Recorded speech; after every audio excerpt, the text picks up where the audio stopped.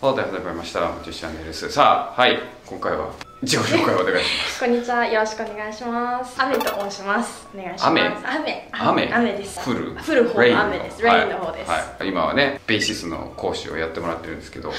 聞くところ言うと国連永久受けるということなんで。そうですね、2週間後に永久を受けます。はい、永久受けてもうでもね永久じゃ困るんで特永久を はい。取ってもらおうということで、国連永久特永久の道というのを、はい、やっていくんですけども出身は？兵庫県の淡路島。あら風民のところですね。そうです。ははい。でもなんか言ってたのは風民は純粋な淡路の人間じゃねえってそうですね、彼は高校から明石の高校には行ってて、まあ純粋にずっとその淡路の中にいたわけではないい、そういうのってあるんですか？そうです。あの私はもう小中高すべて淡路島の中で暮らしてきたので、いやっぱそういう人たちは淡路を捨てた人みたいに見るんですか？高校で出ていくと。そうですねって言うんですけど、はいはい。まあ、古い世代の人だと上上淡路島から見ると神戸はあ。上の方にあるので上上の神です神戸の神じゃなくてではなく、ねはいはい。って言うんですけど、はい。まあ、上に行った人たちはい。になりますね、ああはい。神に行った人たちは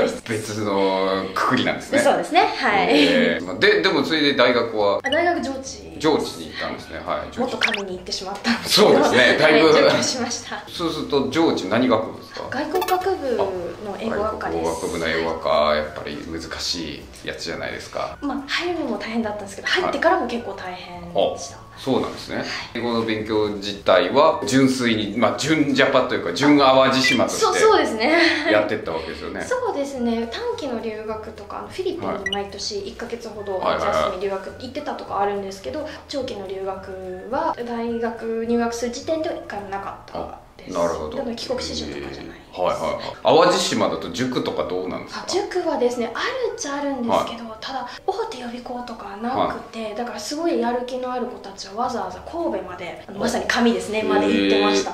で淡路から神戸までのバス代ってすごく高いんですね。はいはいはい。往復3000円くらいするんですよ。それでも行ってる子はいましたね。バス？バスで。って道はあるんですか？あそうです。橋がつながってて明はい石はいはいはい。海峡大橋があるんですけどそれに乗って高速バスで行ってました、えー、高速バスで塾予備塾校に予備校に行くっていう行く人もいました。そんな世界なんですね。なるほど。でも塾とか行かずに。塾行かずでしたね。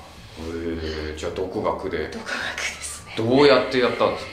毎年フィリピンに行ってたのでそれはモチベーションになってた。中学2年から高校2年まで。だから計4回計はいはい。4ヶ月ですね。行ってたのとあと毎日オンライン英会話やってました。あオンライン英会話、はい、これは今もやってます。ええはい。時代ですねやっぱり、はい。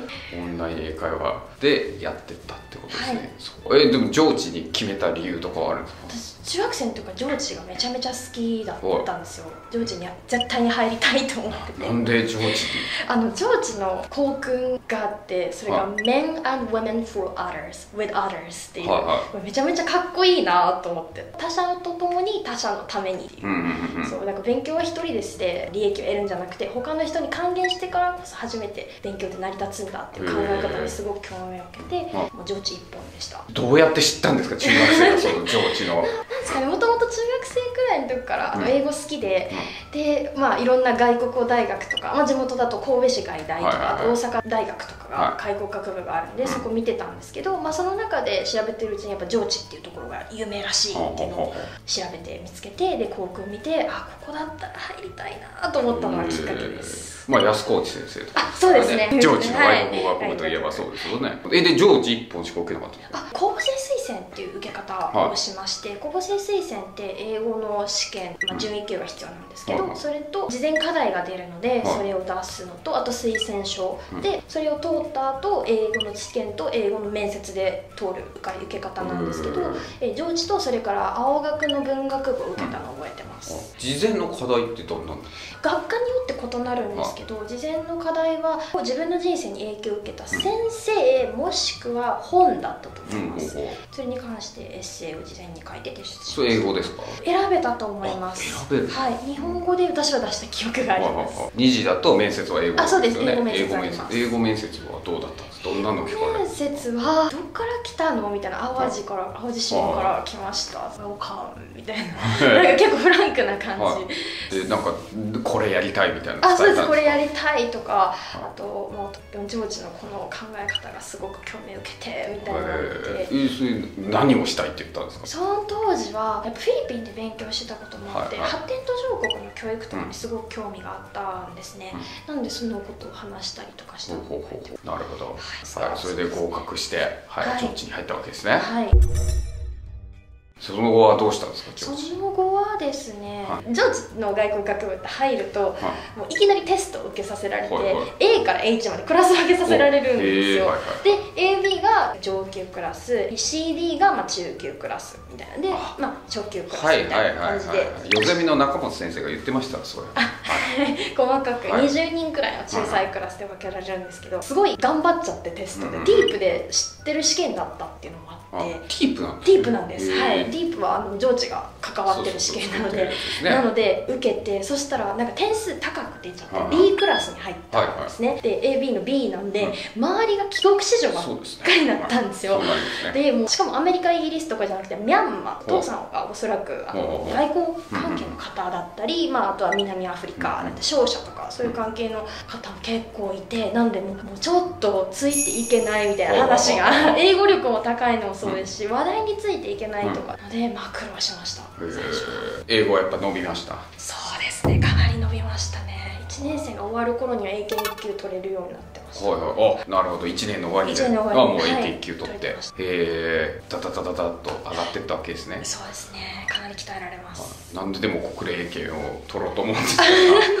在学中に学部在学中に IELTS と英検とを受けて、はいはい、まあちょっとあと TOEIC も受けて、はい、まあちょっと他に何かやりたいなって思った時に、まあ、国連英検ちょっとやってみようというかニッチであんまり知名度が高くない試験なんですけど、うん、面白いなとえ IELTS とかその TOEIC とかどうだったんですか？ TOEIC は一番最近に受けたものですね。ちょうど2か月くらいに受けた。もの、はい、965ですね。はい。で IELTS が2021年に受けたもの8です。あはいはいはい、はい、 IELTS 8.0ですね、はい、オーバーオール。だからそれは相当すごい。8あればもう英語めちゃめちゃできますんで相当すごいと思います。で国連英検を目指そうと。そうですね国連英検マニアックな試験。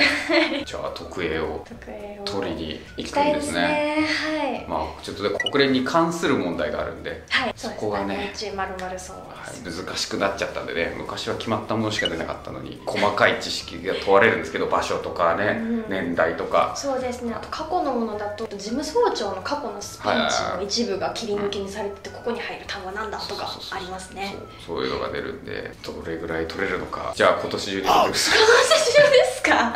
まだ英語は問題ないんで IELTS8.0 あれば国連英検になって。いやいやいやそんなことないです。8.0あれば英語は大丈夫です。それよりも知識ですね知識入れて戦う必要があるって感じだと思いますね。なるほど。ベーシスでもう講師やってるんですね。はい。生徒さんも、はい、募集ということですね。ぜひ講師はヘールス8.0、まあ、あとは講師募集もあるということなんでいただきたい方はぜひ、はい、概要欄にありますんで見ていただければと思います。でも上智って良かったですか？良かったですね。本当に楽しかったです、うん、英語付けです。えインも行ったんですか？あインはあのエジンバラ大学スコットランドはいはいスコットランド。はい。エジンバラエジンバラこの間僕行ってきたとですね、はい、そうですよね、はい、先生の拝見しました。エジンバラ大学まで行って。なんでそこに行こうと思ったんですか？コロナの時に祖母と一緒に住んでるので、はいはい、なんでまあ移さないように東京でずっと一人でいたんですよね、でその3年生くらいの時2020年とか学部3年生くらいの時で交換留学行く予定だったんですね、デンマークだったんですけどでそれがダメになっちゃってずっと一人で部屋でずっと考え込んでてこのまま留学行かずに卒業するのは人生一生後悔すると思ってじゃあせっかくだったらずっと前から興味あった大学院と留学っていうのを組み合わせようと思ってエジンバラに行くことに決めました、うん、えリンバラでは何を学んだんですか？リンバラでは在籍してた学科がソシオロジー and Global Change っていうなんか壮大な名前の、はい、ところにいましたそうやって、はい、日本に戻ってきて日本に戻ってきました。英語の先生になったんですか？あそうなんですね。はい英語の先生になったんです、えーました。じゃあぜひ受講したいという方、はい。そして講師もやりたいという方は、はい、行っていただければと思いますので、はい、概要欄貼っときますんで見ていただければと思います、じゃあ頑張って今後、はいはいやっていただければと思いますんで、はい、国連英検特 A級はぜひそうですね武田塾イングリッシュウィスティスタイル早く取ってください。ぜひ応援早く取ってくださいということでした。はい、ご視聴ありがとうございました。Thank you for watching. Thank you for watching.